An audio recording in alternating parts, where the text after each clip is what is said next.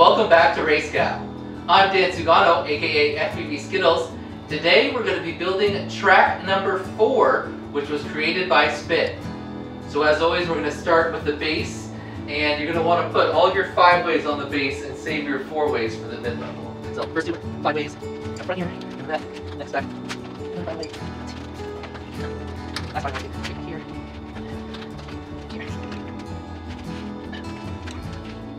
All right, so now that we have the base built, we're gonna build one level up.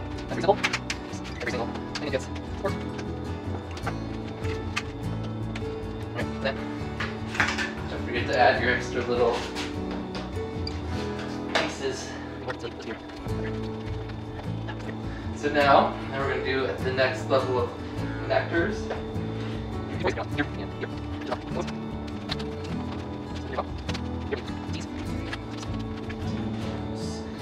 Then after we have this level built, we're gonna go to the final level. This we're gonna finish off the double ladder here. And then put our poles here and here. Alright, make sure we got this part in a straight line. And we're using our extra piece here basically to space the ladder from what we're calling the zigzag obstacle. So your 20th piece you just use right there and then all the spacing should work out itself if you're using the standardized gates. If not, you have to make sure that the center of your gates are at the center of where all the other gates should be. Basically, these gates are lined up. All right, so now that we've got track four all built and spaced out properly, let's go to the fly-through so you know how to run the track.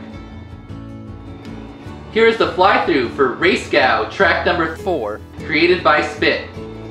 You're gonna start from behind the double gate, looking at the zigzag obstacle, and your start-finish gate is gonna be the bottom of the ladder.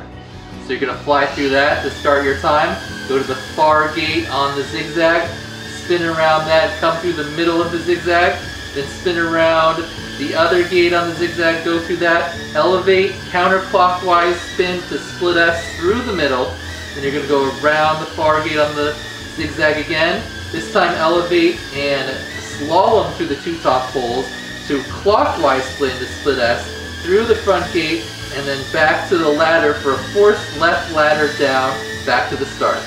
Here we go again, left turn, right turn, clockwise spin, counterclockwise spin to split S, around the far gate, slalom, clockwise spin to split S, through the front gate, and then force left ladder down back to the start. Alright, so the only real option you have on this track, since the last ladder is a forced um, left ladder, is kind of to do a little bit more elevation changes. I'll do it here on this next lap. So you technically could go like over this gate if you wanted, through here, then you could go over this.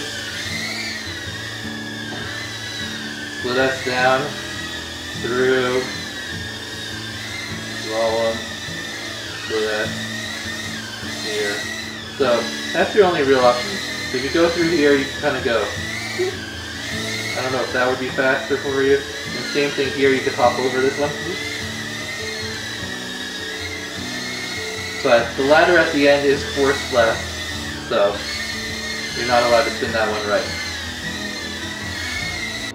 So one thing you're definitely not allowed to do is fly backwards through any of the gates to gain an advantage or shorten your line. So on this track there are a few places where you could do the cheese move we've talked about before, but it's definitely not allowed. So, for example, you fly through here and then you go around this gate and back through it. You are not allowed to do this. So here's the start, around, you're not allowed to just go through it and spin around and then continue on the track. That is not allowed. Same thing with that gate right there. You would not be allowed to do that. Those moves are not allowed. Alright, so let me show that one more time. You must go around the gate, like that. You cannot go backwards through the gate and then back through it to shorten your time. Right there, also a not allowed move. Alright everyone, hope that makes sense.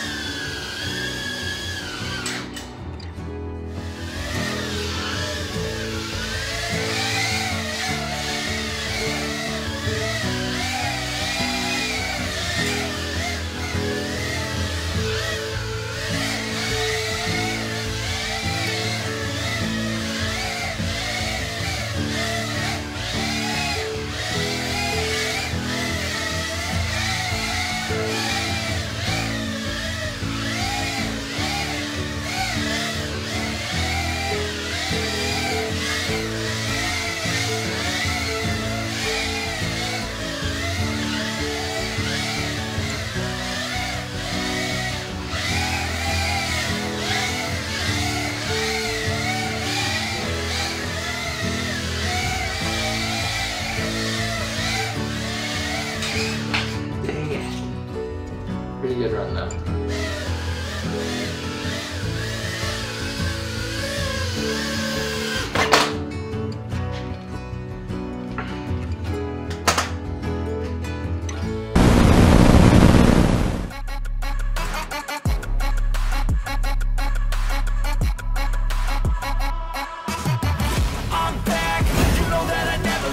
I got tracks, it's the music that you never I don't I'm and happy